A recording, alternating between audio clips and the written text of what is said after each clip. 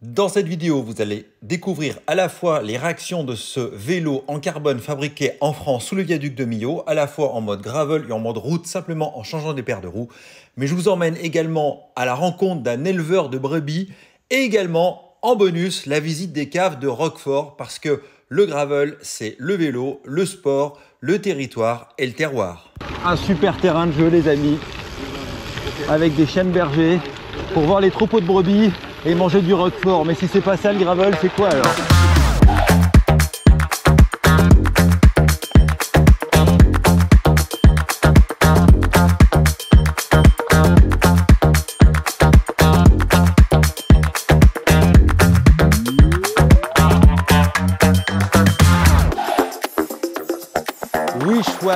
Le retour des vélos carbone fabriqués en France et de surcroît sous le viaduc de Millau. C'est ce que je vous ai fait découvrir dans l'épisode 1 en rencontrant les cofondateurs, à savoir Maxime Poisson et François-Xavier Blanc.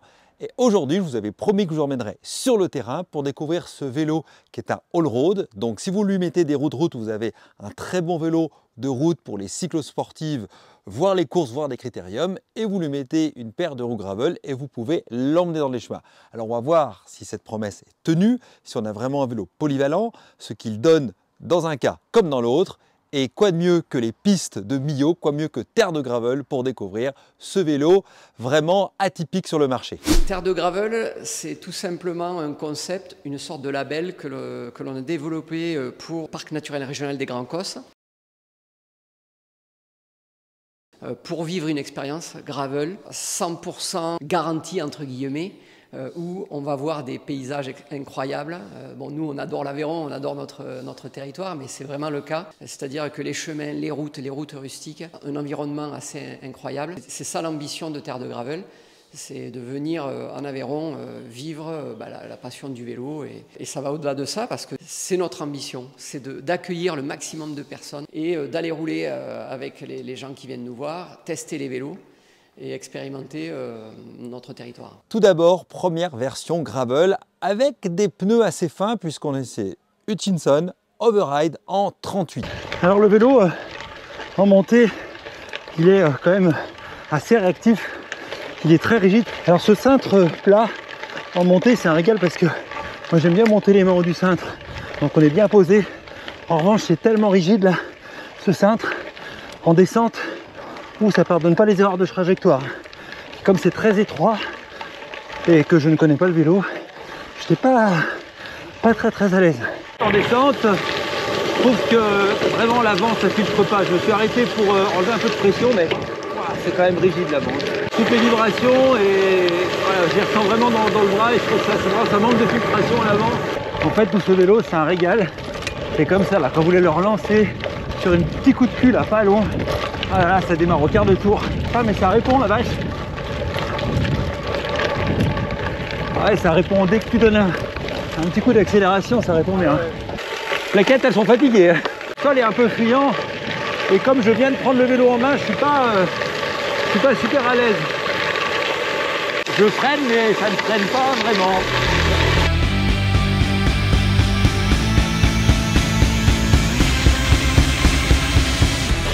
Ouh Je n'étais pas à l'aise dans la descente parce que j'ai des ralentisseurs, ah, mais je suis pas sûr d'avoir des freins.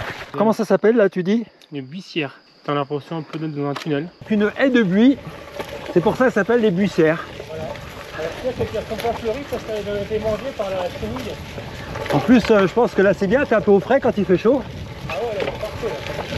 En fait, ce qui est bien ici, vous n'avez pas besoin d'emmener du ravito parce qu'il suffit de s'arrêter Hein, voilà, on prend des cerises, n'est-ce pas N'est-ce pas C'est du bon sucre pour carburer.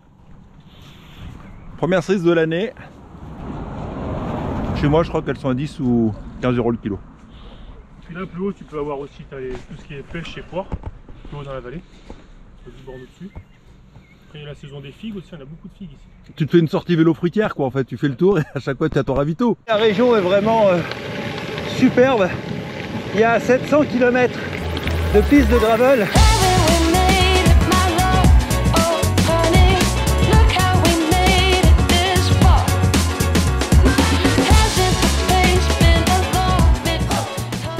Ah c'est sympa vraiment le cadre. Vraiment la région de Millau pour faire du gravel. C'est la deuxième fois que je fais du gravel ici, mais le terrain est juste incroyable. Alors tu disais là c'est un village euh, troglodyte Ouais. qui s'appelle Paye.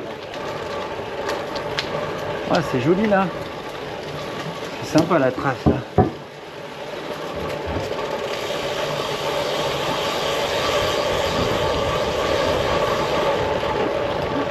C'est quoi en bas? C'est le, le Tarn?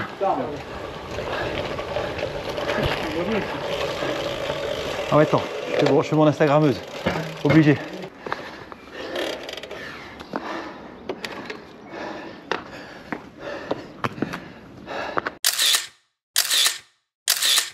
Voilà, Stéphane, si tu t'arrêtes à tous les endroits qui sont beaux, on va jamais finir. Ouais, je sais, non mais faut que je... Voilà. Faut que je communique un peu. C'est pour ça que je suis venu aussi. Non, mais là, on attaque. euh, On fait de l'intervalle training, on roule fort, on s'arrête, on roule fort, on s'arrête. Maintenant, second essai avec des Touaregs en 40. Alors là, changement de monture avec un cintre qui me convient nettement mieux que la première version qui était euh, assez étroite et assez raide. Là, on a un cintre beaucoup plus large, beaucoup plus gravel. L'appréhension est tout de suite plus agréable et on se dirige vers les caves de Roquefort, si j'ai bien compris. Parce qu'on va rencontrer un, un éleveur donc de, de brebis euh, qui va nous faire découvrir son exploitation. Donc on, on va dire le producteur de lait. Et ensuite on ira au cave de Roquefort euh, visiter l'affinage et la fabrication donc, des Roquefort. Bon les amis, plutôt, plutôt on retrouve Alex. Donc tu es le régional de l'étape. Un petit peu, ouais. Donc toi tu es agriculteur, ouais. Éleveur de brebis Ouais, c'est ça. pour le lait, pour le fromage, Bah ouais, pour, pour, pour un roquefort. pour Roquefort. Ouais, ouais. Et donc là qu'est-ce que tu veux nous faire découvrir? Bah, un petit peu les jolis paysages du Cos. Et ça c'était tes copains? Ouais, bah du coup, Salut. c'est- c'est mes chiens de berger. Salut, salut les chiens de berger. Salut toi. Eh, c'est la première fois que je fais du gravel avec des chiens de berger. Ah, bah, Ah bah c'est génial. Ah t'as l'air trop contente. Il s'appelle comment Jane et Joe. Jane et Joe. Ah c'est génial. C'est cool parce que tu veux faire du gravel avec ton chien alors Bah ouais, ouais. Ah, Ça c'est génial. Euh, Oui, pour il y a la distance mais. c'est souvent que je prends mon gravel pour aller euh, chercher les brebis. Là, par contre, euh, Et t'as combien de brebis ouais, il y en a quand même mille, quand même. 1000 brebis Ah ouais Ouais, on en a 700, un peu plus de 700 à la traite déjà. Euh. Ah ouais, ça fait un beau troupeau, 1000 brebis. euh. Ah, j'ai du mal à me rendre compte, mais. C'est tout, euh, tout du lait pour Roquefort. Ouais, nous on fait tout. on fait tout. franchement, un super terrain de jeu, les amis. On pédale de manière vraiment cool avec des chiens de berger pour voir les troupeaux de brebis et manger du roquefort. Mais si c'est pas ça le gravel, c'est quoi alors? J'adore. Venez à Millau, il y a plus de 500-700 km de pistes labellisées gravel. Ferez ça sur les offices du tourisme. C'est des parcours avec différentes distances, différents endroits de départ. Mais quel parcours les amis? Quel endroit pour faire du gravel, mais c'est, on appelle ça terre de gravel, mais ça porte bien son nom. Donc, donc ton chien, il- là il est tout mouillé, mais il sort d'où tout mouillé? Ici il n'y a pas beaucoup d'eau, mais il s'est trempé dans une lavogne. C'est quoi une lavogne c'est des, c'est des surfaces en fait qui ont été aménagées, creusées en forme de bol pour récupérer l'eau de pluie. Et donc ça garde l'eau de pluie pendant les saisons un peu plus sèches. D'accord, ah, c'est pas des choses naturelles, c'est. c'est pas des choses naturelles, non, non. Mais C'est créé en fait parce qu'ici la pénurie d'eau ça a toujours existé. Donc euh, les paysans se sont adaptés comme ça. Et avant ça servait à faire boire les brebis. Eh ben, les- Un peu moins, mais Et ben alors les chiens, vous avez trouvé de l'eau alors oui, c'est les chiens qui se baignent. Ah ouais, donc eux ils savent où elles sont. Là-bas dans le fond, c'est, la, ta ferme. Ouais, les champs là, tout ce que tu vois en fait euh, à la caméra là, ben, les Tout- champs, euh, les parcours là où il n'y a pas de champs, là c'est quand même utilisé pour les, par les brebis. C'est des pâtures en fait tout ça. C'est ça qui fait du bon lait. C'est ça qui fait du bon lait. Bon, on va aller voir ces brebis. C'est des jeunes brebis ça. Bon alors, on est où là? Là on est dans la bergerie. Donc là tu vois qu'il y a encore quelques petites agnelles. Que nous on appelle des agnelles. Donc là les premières c'est pas les plus jolies. Mais les, celles qu'il y a dans les deux lots là-bas au fond, c'est les agnelles qu'on garde pour le renouvellement. Donc celles-là on les a sélectionnées. Et euh, elles vont servir à renouveler ce pot. Le changement de vélo et ce cintre, c'est pas du tout la même expérience utilisateur que celle d'hier. Je me sentais vraiment à l'étroit et j'avais l'impression que le vélo était très très rigide sur l'avant. Mais ça tenait principalement du cintre qui était dur comme, euh, comme de la pierre. Et là, un cintre plus large, avec un évasement plus important qui correspond beaucoup mieux à, bah, je trouve moi, à ma pratique. Elle est belle cette église là.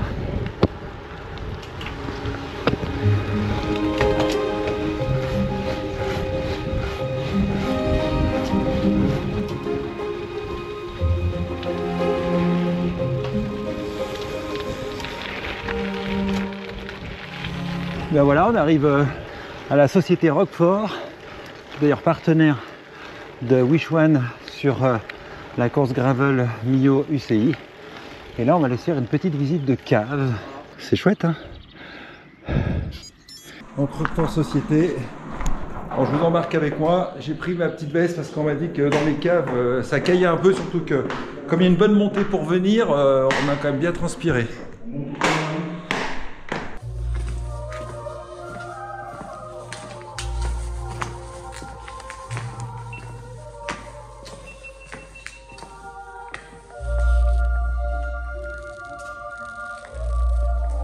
On a fait l'affinage avec des températures correctes et une bonne humidité aussi. Alors celle-ci elle a été agrandie et retravaillée par l'homme. De base, quand c'est naturel, ça ressemble à une faille qui est un petit peu plus fine.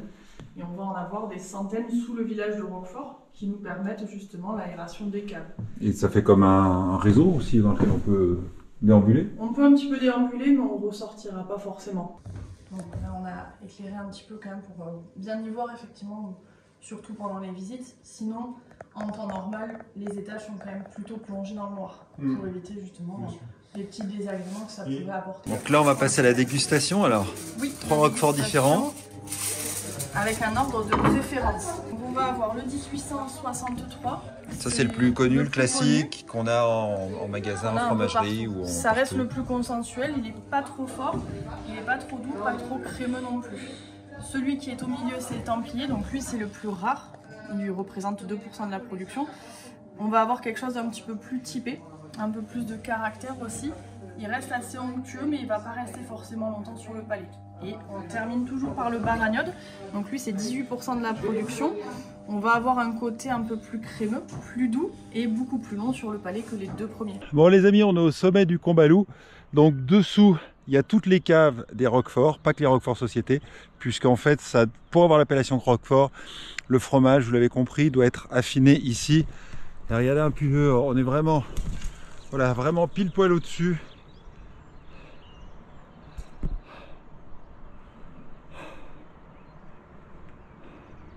Quand même un bel endroit pour faire du vélo, moi je vous dis. Maintenant, on passe au mode route. On est toujours du côté d'Hutchinson, puisque c'est le partenaire de Wish One. Et cette fois-ci, les nouveaux Blackbird, cette fois-ci en 28 mm. Bon, changement de configuration, mode route. On a changé les roues avec des pneus, les nouveaux pneus Hutchinson route Blackbird. Premier tour de roue, donc le comportement du vélo est encore différent. Là, il est encore plus réactif, encore plus précis dans les courbes en descente. Là, on a un vélo de route euh, taillé pour la performance. D'ailleurs, tu disais que tu avais un athlète qui a, qui a bien performé en mode route euh, il n'y a pas longtemps avec ce vélo. Bruno Morel, c'est lui qui a, il a remporté le prix de, la montée chrono du plateau de Solaison. Donc avec notre Wish One et, euh, SUB. Quand en mode route en descente, on, l'emmène vraiment où on veut. Hein.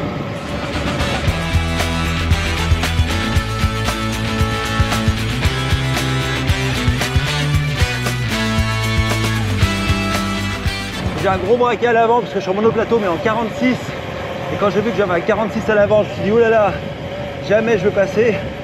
Mais en route, ça s'emmène parfaitement. Euh, même dans les bosses, le vélo il bronche pas, il est souple, il est dynamique.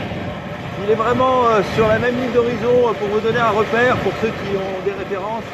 Pour moi c'est le, le BMC Caius alors, c'est la première fois que je vois une station pour nettoyer les vélos. Il y, a, un truc pour tenir votre selle, incroyable. Un petit karcher euh, au milieu d'un village. Et il y a même une station de chaque côté. Incroyable. Je ne savais même pas que ça existait. Je vous rends votre pompe. Merci beaucoup, c'est vraiment gentil à vous. Il n'y a pas de souci. C'est super sympa. Belle fin de journée. Merci, Merci madame. Ah, la générosité des gens quand on est en vélo. C'est vraiment cool. Ah, mais c'est magnifique là. Bonjour.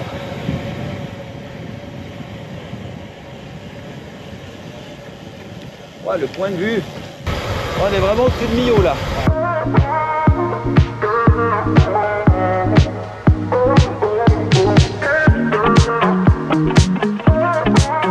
De comportement, ce vélo est très proche du BMC Cayus, c'est-à-dire un vélo très racing, très vif, très réactif. Ce qui va beaucoup changer sur ce vélo, c'est, en tout cas dans l'expérience que j'en ai eue, c'est le cintre que l'on va mettre puisque l'avant du vélo est quand même relativement rigide, euh, même très très rigide. La douille de direction est vraiment verrouillée, ce qui va plaire vraiment aux coursiers, ce qui va moins plaire aux personnes qui veulent un peu plus de flexibilité, un peu plus de souplesse. Et puis, comme elle est très courte également, la position est très racing, on est très penché sur l'avant.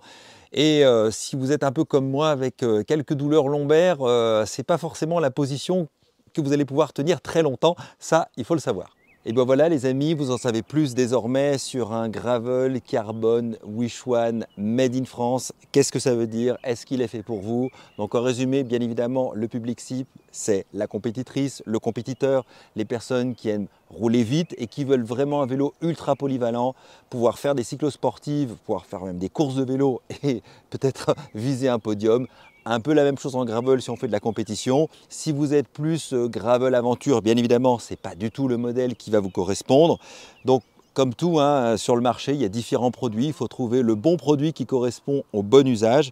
Mais si vous avez un peu l'esprit de performance, euh, ce vélo pourrait peut-être euh, bien être le vôtre. Pensez à vous abonner, pensez à lâcher un petit pouce bleu. On continue l'aventure dans les commentaires. Dites-nous ce que vous en pensez, cette idée de relancer euh, ce, voilà, un carbone en France, parce qu'aujourd'hui, on peut avoir des vélos français qui sont principalement des vélos en acier, un peu de titane, un peu de vélo en bois, mais des carbones, je trouve ça intéressant aussi que des marques n'aient pas laisser que ce matériau pour bah, les autres types de production qu'on peut avoir essentiellement en Asie aujourd'hui et de retrouver ce savoir-faire qui s'est malheureusement un petit peu perdu.